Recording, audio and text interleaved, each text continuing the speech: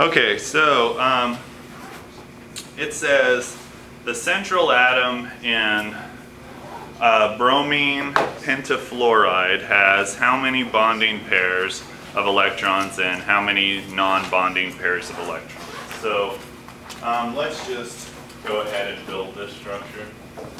So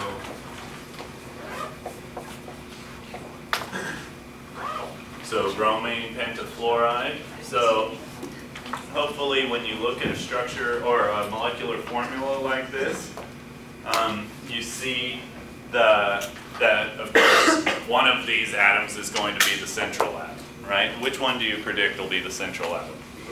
Bromine. Why would you predict that? So does fluorine, right? It expands its, uh, It can expand its valence, right? So um, fluorine can't expand its valence. Why is that? It's not It's in the top factored in. Yeah, it's not big enough, right? So it, it can't um, have all those arms around. So um, let's put bromine in the middle there. And let's uh, draw its valence electrons. So remember, it's expanding its valence. So kind of draw them a little further away from each other.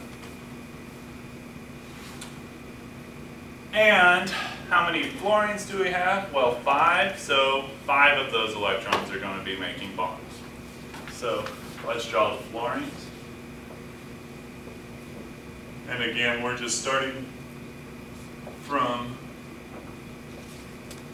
the constituent atoms so we can show everyone how we build these things Lewis structure wise.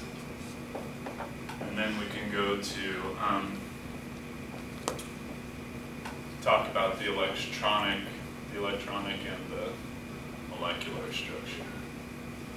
Okay, so there's five fluorines. So let's show the bonds being made.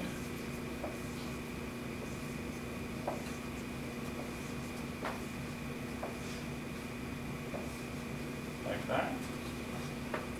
Okay, so hopefully you guys can see, right? We're gonna have five bonds and one lone pair, right? Because we've got the, those two electrons left over.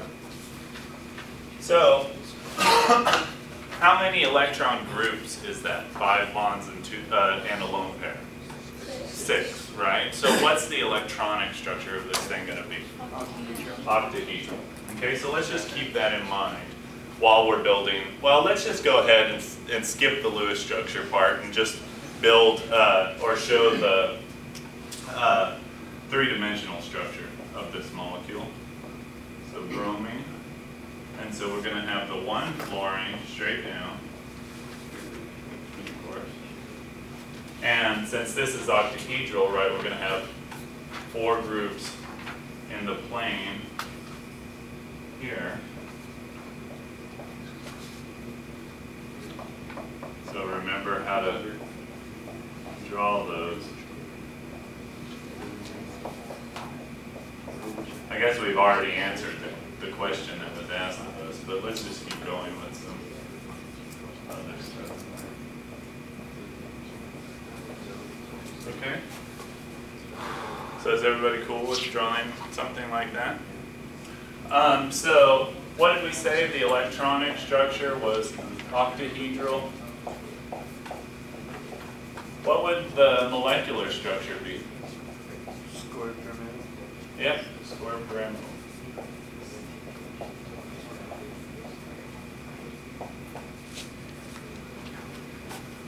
So why is that? Because remember, if you're like a little guy looking at that thing, you can't see these lone pairs up there. You can only see the um, atoms.